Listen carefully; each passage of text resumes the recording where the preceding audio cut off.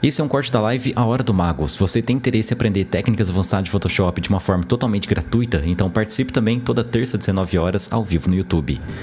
Primeira coisa, né? Essa é uma técnica é, muito manual, tá certo? Ela é uma técnica muito complexa, muito complicada, que, que depende bastante também da paciência, tá certo?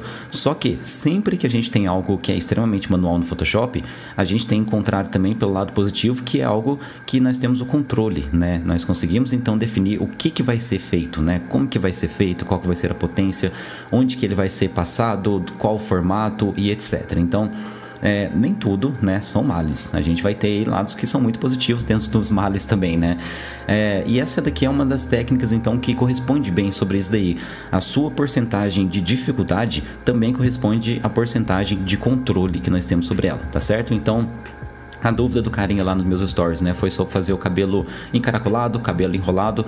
Isso daqui não depende. O formato do cabelo pra gente independe. O que a gente precisa ter é uma referência, então ter uma imagem para fazer um estudo por cima dessa imagem, compreender então como que é o cabelo liso, como que é o cabelo encaracolado, qual o formato que ele faz, quais, quais são as cores, quais suas texturas e etc, tá certo? É... E a partir disso daí, a técnica vai ser exatamente a mesma. Então aqui eu vou fazer por cima de um exemplo, eu não vou fazer dois três exemplos, porque senão ainda vai ter alguém que vai falar, pô, por que você não fez aquele outro tipo de cabelo? Então, vou fazer por cima somente de um. A técnica vai estar tá aí e depois vocês façam o estudo do jeito que vocês acharem melhor, tá certo? A gente vai estar utilizando aqui então a nossa querida ferramenta Pentool ferramenta que algumas pessoas podem ter um pouco de medo né, com ela assim, mas não precisa ter medo, ela também traz todo esse controle que é algo extremamente positivo. Primeira coisa para a gente fazer aqui através do Photoshop, sempre, sempre que eu for utilizar uma ferramenta, sempre que eu for fazer alguma técnica nova, né? Nunca esqueça de estar configurando todas as suas layers, configurando a sua ferramenta e etc, né? Não pense que uma ferramenta vai funcionar do jeito que você espera, do jeito que você realmente deseja, simplesmente por estar selecionando essa ferramenta. Não é assim que funciona. Então, sempre que for utilizar alguma ferramenta nova, lembre-se de configurar ela, porque primeiro que você pode estar impossibilitando de fazer alguma coisa, tá certo? Ah, pô, não estou conseguindo fazer tal outra coisa. E segundo, que vai trazer muito mais possibilidades, né? Configurando essa ferramenta, você tem também muito mais controle, você tem muito mais tranquilidade de fazer as coisas corretas, beleza? Então, qual que vai ser a configuração aqui do nosso Pentool? São poucas configurações, mas eu quero mostrar algo que é muito importante, que talvez algumas pessoas não saibam, né? Porque de uma forma natural no Photoshop a gente não consegue observar aqui quando a gente instala no modo default dele, né? A gente não consegue observar o traço da Pentool e eu acho que muitas pessoas que possuem dificuldade para utilizar a Pentool é porque não consegue observar para onde que a gente está caminhando, né? Qual que, qual que é o formato que eu estou fazendo com ela. E essa configuração aqui é muito simples, basta a gente clicar aqui nesse quadradinho vocês não vão estar vendo. Então eu vou tirar um print e depois mostrar para vocês, tá? A gente vai tirar, é, clicar nesse quadradinho que é a nossa engrenagem, né? E aqui vai ter a opção então de é, rubber band, rubber, rubber band, sei lá, rubber band. Aqui ó, a gente vai poder configurar também o thickness, né? Então, thickness é exatamente a espessura, a grossura dela, que está configurado como um pixel, porque eu não quero que essa espessura seja tão grossa que vai atrapalhar também observar o meu objeto ou que eu esteja selecionando, tá certo? Então, um pixel é suficiente. A cor dela, a gente usa por default mesmo. Se você quiser colocar verde, preto, azul, do jeito que você quiser, pode colocar também. Às vezes você sinta mais facilidade, sei lá, talvez você seja aí daltônico, por exemplo. Então você sinta mais facilidade em destacar algumas cores em vez do azul. Mas o azul, o verde, né, por exemplo, também aquele verde de chroma key, são ótimas cores para gerar destaque, para gerar contraste. Portanto, o azul aqui por default já está ótimo. E a opção então de rubber band, né, rubber band aí, que vai ser para a gente observar então esses tracinhos. Essa é a configuração então da nossa Pentool, coisa bem rápida mesmo, porque eu imagino que todo mundo saiba, mas quem não sabe, é muito importante que você faça essa configuração. Dito isso, então a gente vai começar então a fazer o nosso primeiro fio de cabelo. Primeiro fio de cabelo, eu vou fazer o que? O primeiro ponto, vou fazer aqui um segundo ponto trazendo um pouquinho mais arredondado e o terceiro ponto trazendo aqui também mais arredondado. Esse daqui, galera, é o nosso primeiro. No tutorial eu até mostrei de uma forma extremamente muito simplificada, muito resumida mesmo assim, né? Porque senão ia ficar um vídeo muito longo, eu teria que acelerar muito aquele vídeo, não ficaria uma coisa muito interessante. Então, é, aqui eu quero mostrar algo um pouco mais detalhado para vocês mesmo, tá? Onde eu tenho a possibilidade de fazer realmente isso. Então, Essa forma detalhada seria o que? A gente fazer um primeiro formato, a gente fazer várias e várias cópias dele, depois a gente ou pode fazer aqui a, a, já o efeito, já passar o, o nosso brush, né? Ou então a gente pode começar um outro formato e depois juntar tudo isso, né? Junta tudo isso daí em uma coisa só, então a gente vai ter vários formatos diferentes e vai ter um fio muito mais orgânico, tá certo? Um fio de cabelo aí muito mais orgânico, algo que é, não foi. A gente consegue observar que não foi feito, né, realmente assim pelo homem, que é algo que está de uma forma totalmente natural. Mas então já tenho aqui esses dois primeiros pontos. Segurando o Ctrl no teclado, a gente vê que a nossa ligação ela vai se encerrar, tá certo? Então a minha ligação aqui do meu, da minha pentoa vai se encerrar nesse meu último ponto. Beleza, é exatamente isso mesmo que eu quero. Porém, eu quero selecionar esses dois primeiros pontos, portanto eu seguro o Ctrl, né, para encerrar minha ligação. E agora com o meu shift, a gente pode somar, né, a nossa seleção. Então quero somar mais esse daqui, queria somar mais esse daqui, poderia, né? Seguro Ctrl mais Shift, seleciono esse terceiro também, mas não é isso que eu quero.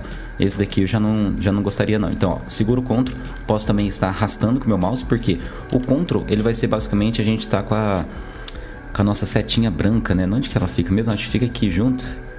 Esqueci agora. Talvez não esteja habilitada aqui a minha, tem que colocar talvez as opções aqui assim. Mas o Ctrl seria para quem utiliza, por exemplo, o Illustrator, né? É, onde a gente faz o ajuste de pontos, basicamente assim. Então, no Illustrator, você está fazendo lá uma pentool, está fazendo uma forma. Quando você coloca o mouse com a, o, o, atalho do teclado A, né, que é exatamente esse mouse aqui mais branquinho. Deixa eu tentar encontrar ele de novo. Opa. Nossa, eu tô com meu brush, por isso que não está dando certo.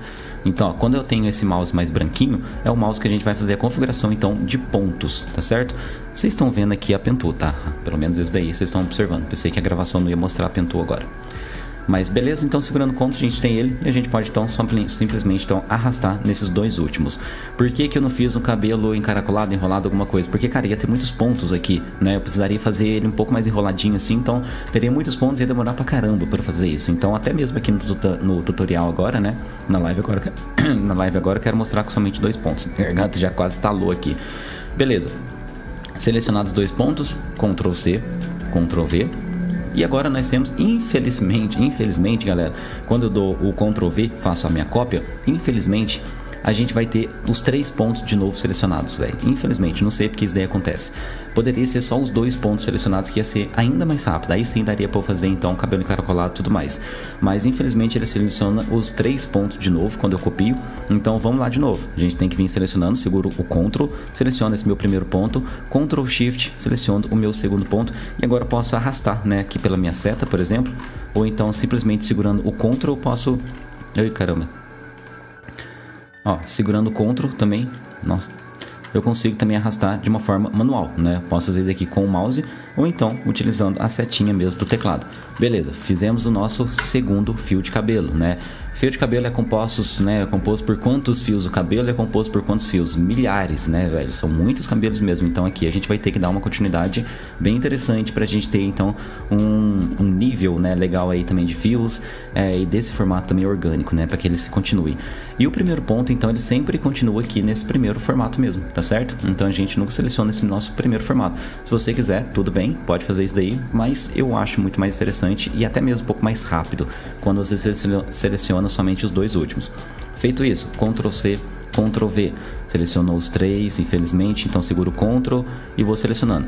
E vou fazer a partir desse momento então aqui, ó, um pouco mais rápido, tá? Ctrl C, Ctrl V, só pra gente não ficar enrolando muito aqui assim não. Seguro Ctrl, Ctrl C, Ctrl V. Chega uma hora que o seu cérebro ele fica até meio confuso. Será que eu, eu preciso arrastar ou eu preciso fazer o Ctrl C, Ctrl V? Então aqui ó, vou fazer vários, posso colocar uns mais para cima, né? Aí a partir desse de cima depois eu movimento um pouquinho só para baixo, assim a gente já cria bastante aí dessa, é, dessa diferença. E até mesmo eu poderia também estar arrastando, né? Somente um ponto, por exemplo, Ctrl C, Ctrl V. Então quero somente esse daqui. Então posso estar fazendo somente um ponto, né? Vamos ter uns fios então diferentes a partir de certo momento. Talvez seja interessante você fazer um fio, alguns fios aí de, é, de formato diferente. Então fiz aqui, Ctrl C, Ctrl V, seleciono os dois. E a partir de agora a gente consegue então trazer outros formatos e ainda vai ficar mais interessante, com toda certeza. Ctrl C, Ctrl V. Vou trazer, ó, tipo aqui assim, só que esse daqui vou diminuir um pouco. Pior que não vai dar para diminuir porque eu não vou conseguir acertar a curva bonitinho, então vou continuar dessa forma aqui mesmo. Ctrl C, Ctrl V. abaixa um pouco. Precisa ser infinitos, né? Do jeito que existem realmente cabelos? Não, tá? É legal que você tenha bastante. Você tenha bastantes aí fios, fios mesmo. Isso daí com certeza vai ser legal. E tentando encontrar então essas, né, essa, essas, esses vãos aqui assim que não foram ainda preenchidos, tá bem? Deixa eu só dar uma olhada aqui no chat. Um, ela fica junto. Ah, com a seta preta abaixo do texto. Boa, boa, Feru. Obrigado. Boa noite, Cruz. É... Aí, ó, não lembro se eu dei o Ctrl C, Ctrl V, então vou dar de novo. Se tiver um fio em cima do outro, não tem importância, não. E vou fazer mais uns aqui assim, tá? Como eu disse, essa live ela não vai ser longa. É, é uma live somente para reforçar conhecimento mesmo e agregar conhecimento, né, para vocês. Ela não tem a obrigação de ser longa ou qualquer outra coisa, tá bem? Mais ou menos aqui assim. E agora eu vou preencher só mais esses daqui. É, na sua casa, com certeza, tenha mais paciência na sua casa, faça isso daqui igual um louco mesmo, assim. Vou movimentar só esse daqui agora sim, vou fazer um pouco mais para frente ele. É bom que vai ter umas formatos aí diferentes. Opa! Vou puxar para cá, Ctrl C, Ctrl V. Acho que tá bom. Só pra gente ter como exemplo aqui mesmo, galera, só pra não ficar, né, ficar aqui uma hora fazendo Ctrl C, Ctrl V, eu vou ficar doido. E vocês também, né? Com toda certeza. Ó, feito isso daí, até então, todo mundo conseguiu entender bem? Por favor, comentem no chat. Se você tiver alguma dúvida, deixe agora no chat, beleza? Que eu faço uma pausa, então explico certinho alguma parte que você não entendeu. Não existe pergunta burra. Burro é não perguntar, beleza? Burro é continuar aí com essa dúvida sua. É... Ou então qualquer outra coisa, beleza? Qualquer outra coisa também, se você entendeu, deixa aí também no chat, que é muito importante para eu entender, então, como que vocês estão acompanhando tudo isso daí, tá certo? Mais ou menos aqui, ó. Fiz até bem mais, então, que o nosso tutorial vai ficar um cabelo muito mais bonito aqui, assim. Deixa eu ver. Temos 29 pessoas assistindo a live e somente 27, ah, somente não, tá bom, tá correspondendo os, os, likes. Obrigado, galera, todo mundo que tá deixando like, todo mundo que tá curtindo essa live aí, eu fico realmente muito feliz, tá certo? Beleza, galera, ó, então eu acho que não teve nenhum tipo de dúvida. Fernando, perfeito, né? Então, perfeito. Se tiver alguma dúvida depois, eu retorno e a gente faz tudo de novo, beleza?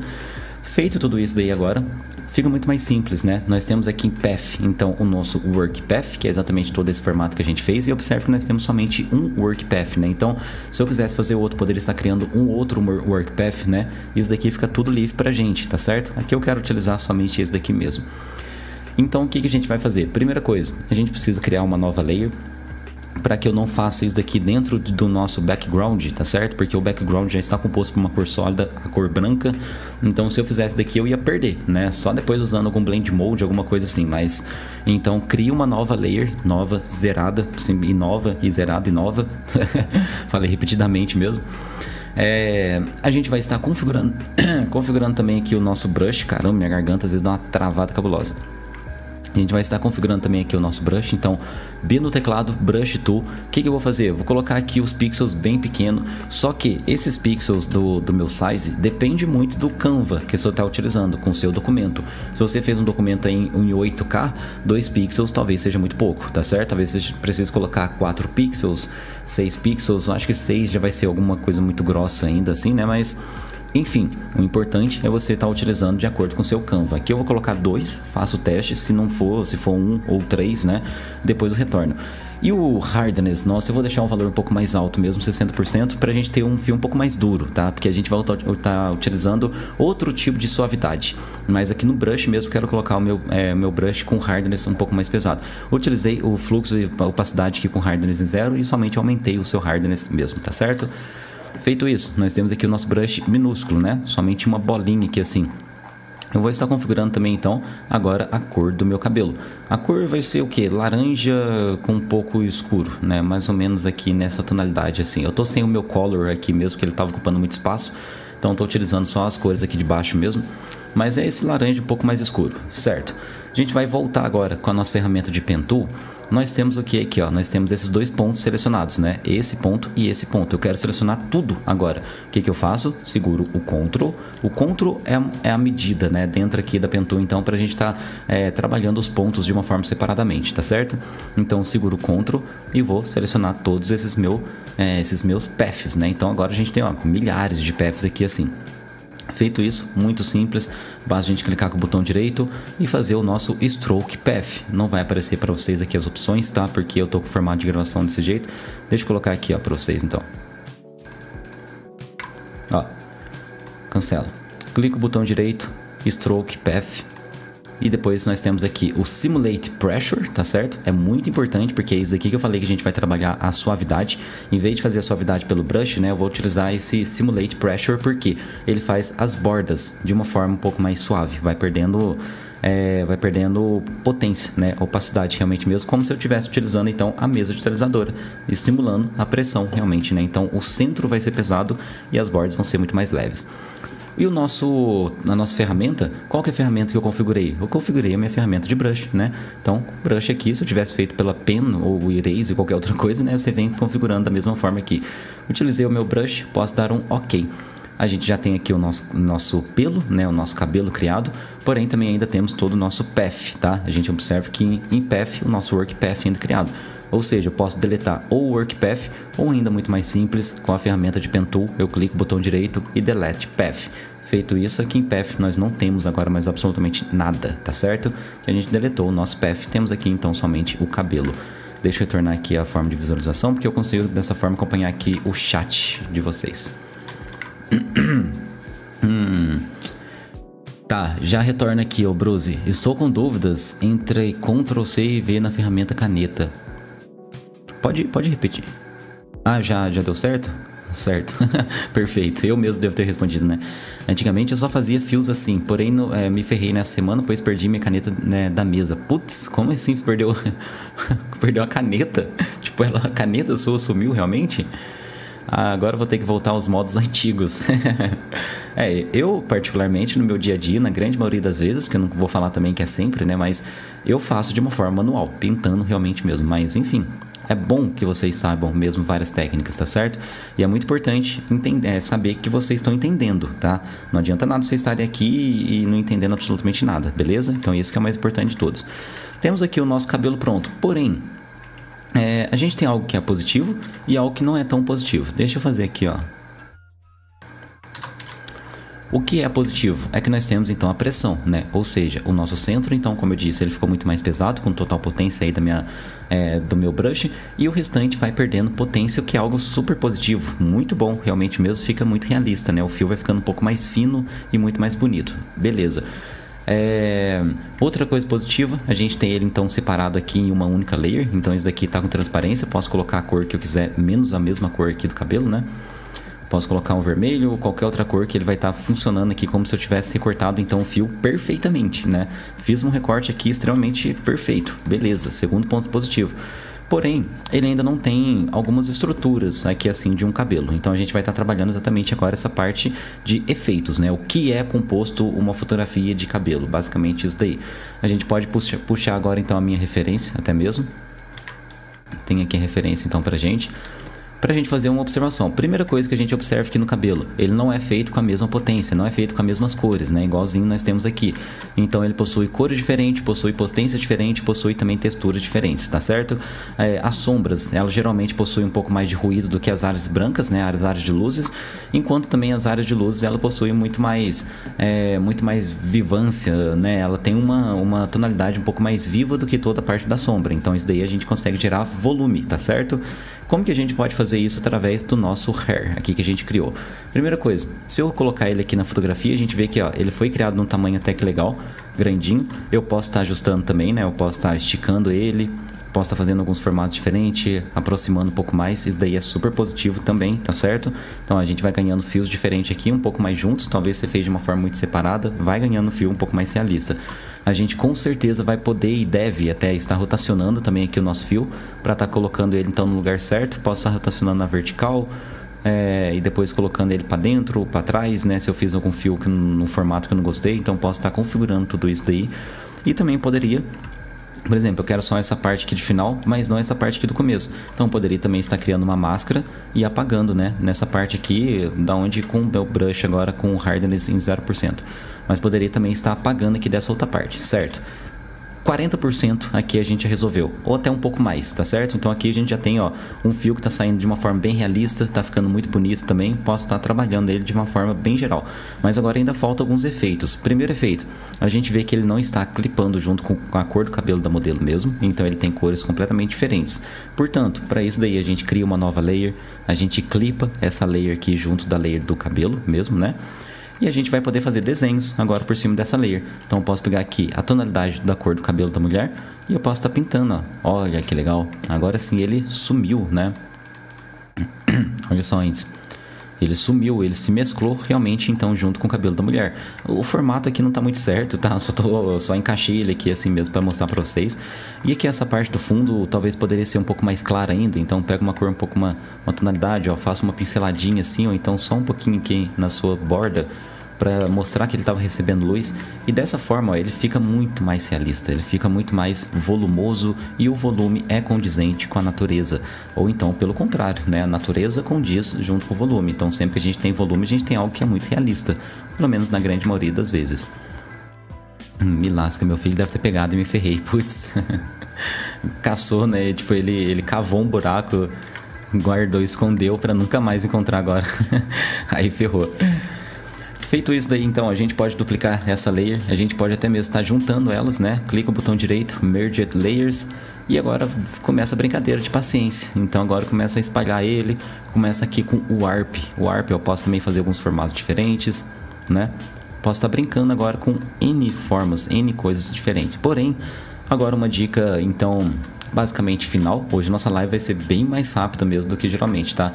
Uma última dica aí também que a gente pode estar aplicando aqui no nosso fio de cabelo é algo muito simples, tá? Algo muito simples, mas que é o noise. Por quê? Sempre que eu faço uma pintura com um brush com uma cor sólida, a gente não tem ruído, a gente não tem o um noise, né?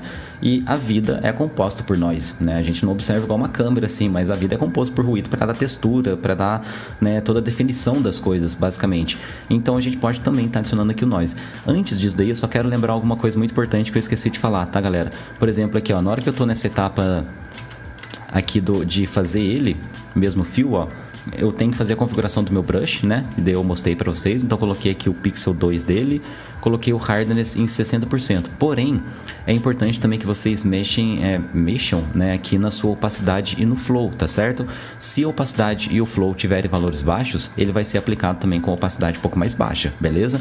Eu acho bem, bem melhor vocês deixarem a opacidade e o flow aqui, o fluxo, né, com 100% e depois ter a decisão de querer abaixar ou não pela opacidade da sua própria layer, tá certo? Eu acho muito, muito mais interessante isso, porque se você faz com opacidade baixa aqui no seu brush, depois você não consegue aumentar ela, porque sempre que você duplicar essa layer, vai aumentar não somente a opacidade e o fluxo, mas vai aumentar também um pouco mais a grossura do seu pelo, tá? Então, duplicando várias e várias layers, a gente vai deixando o pelo um pouquinho mais grosso, alguns pixels mais grosso assim, só que talvez já não seja interessante. Então, aqui, por exemplo, pega a minha pentura de novo, Vou selecionar todos os meus pontos.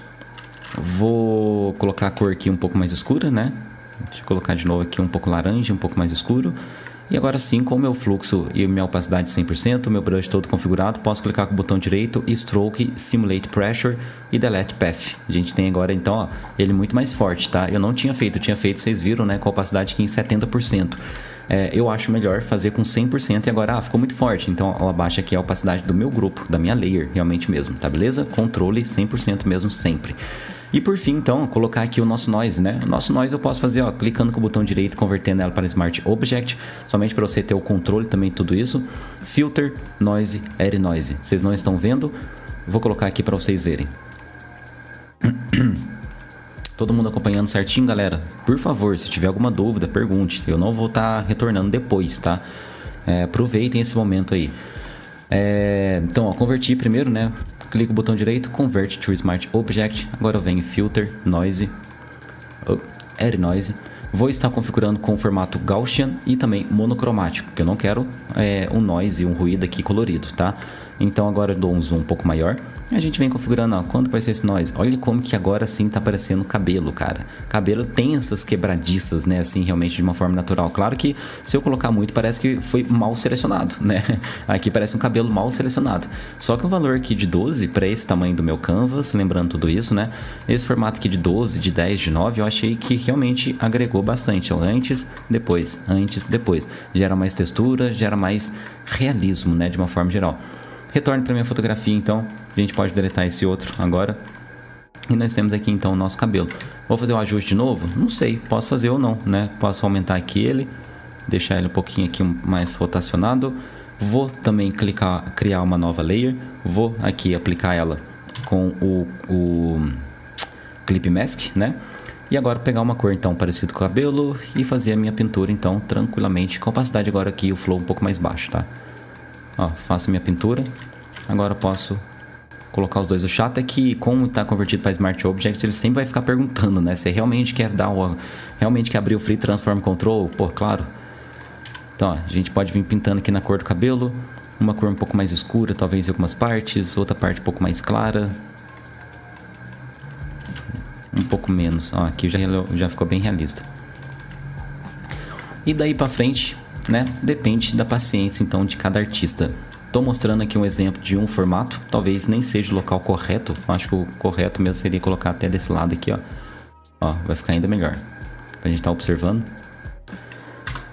Mas lembre-se, né, que a partir desse momento, ó, deixa eu só... A cor tá, tá certa, não tá tão errada não, pensei que ia estar tá um pouco mais errado. A partir desse momento, então, eu vou duplicar os dois, Vou estar clicando com o botão direito, Merged Layers, então tenho agora tudo, a pintura e tudo mais em uma única layer. E vou sair espalhando, vou sair modificando essa minha layer. Vou sair deletando ela também de algumas partes, por exemplo, aqui eu não quero para a parte de cima, né? Então, vem deletando. Depois eu copio essa outra, deixa, deixa uma de, de backup, né? Para não ter nenhum tipo de problema. Posso inverter horizontal, vertical, posso não, devo tá invertendo horizontal, vertical para gerar cada vez mais esse formato orgânico, né? Esse modo orgânico das coisas realmente mesmo. E daqui para frente, então, vai de cada artista a paciência, a determinação para estar tá fazendo então uma arte cada vez mais interessante, tá beleza? Eu acho que é basicamente isso mesmo. Na captura de tela, tá? Só deixa eu ler então um pouquinho aqui dos comentários. Uh, boa noite, pessoal. Boa noite, Rafa. Like dado compartilhado no grupo. Opa, muito obrigado, Edgar. Valeu. Noite, Mopirra. O que você diz sobre os brushes de cabelo que já tem pronto e sendo que tá para transformar esse aí em brush também? Cara, eu utilizo muito os brushes de cabelo com toda certeza, só que só isso daí não, não adianta, tá? Não adianta você ter o melhor martelo do mundo se você não tem a técnica. Então, esse daí que é o mais importante. O brush é uma ferramenta, somente uma ferramenta pra gente. É, se você não tiver a técnica, se você não tiver aí o o quesito observação mesmo, né, o quesito olhar crítico, não adianta absolutamente nada, tá? O conhecimento de manipulação mesmo, como que a natureza realmente funciona, não adianta nada você ter o melhor brush do mundo, tá beleza? E agora, dá para transformar em brush? Dá. Dá, mas não é assim que faz o brush de cabelo. É, dessa forma, assim, a gente vai sempre estar tá fazendo fios grandes assim. Hum, talvez não seja legal, tá? Eu acho melhor duplicando a camada eu vou duplicando, melhor não, mas é mais rápido, né? Pelo menos eu ir duplicando a camada aqui e alterando pelo meu warp, por exemplo. Eu ir colocando meu warp aí de uma forma que, que fique certo, não dessa forma que eu fiz agora aqui, porque tá tudo errado. Mas eu vou modificando pelo warp o formato do meu cabelo e, e deixando ele então do jeito que realmente deveria ser.